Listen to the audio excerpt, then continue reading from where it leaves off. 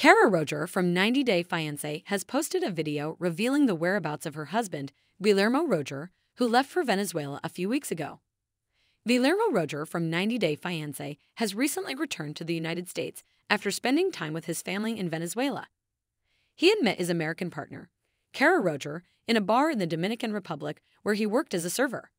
The couple instantly fell for each other, and despite the six year age gap, decided to be in a committed relationship. After dating Guillermo for a while, Kara applied for his K 1 visa and he was able to come to the United States. The love story of Kara and Guillermo was documented during 90 Day Fiancé Season 9. The couple got married towards the end of the season, and during the tell all, they announced that they were expecting their first child. Kara and Guillermo welcomed their baby boy, Nicholas Antonio, in December 2022. Their marriage is stronger than ever, and they gradually faded away from the 90 Day Fiancé franchise. However, Guillermo became a topic of discussion when Kara disclosed that he had left her and their son in the United States to travel alone to Venezuela to reunite with his family. Unfortunately, Kara couldn't accompany Guillermo on his trip due to visa issues. Many expressed concern when Guillermo left for a solo Venezuelan trip, leaving Kara with all the household chores and parenting responsibilities.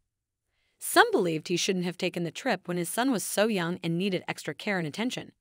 However, Guillermo's trip to Venezuela was shorter than expected, as he had already returned to the United States. Kara recently posted a reel on Instagram with the caption, G is back. Oh, how we've missed him. The video shows her jumping into Guillermo's arms. Guillermo appeared very happy in an Instagram reel where he was reunited with his wife.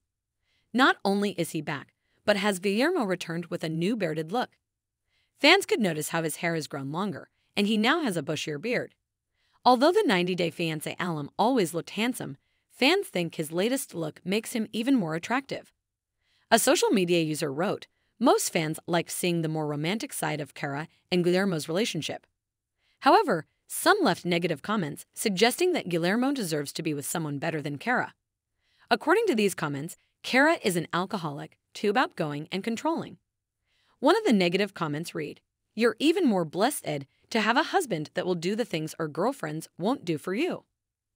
Everymen get tired of that lifestyle. Kara responded to this criticism by saying she and her husband have a strong and happy relationship.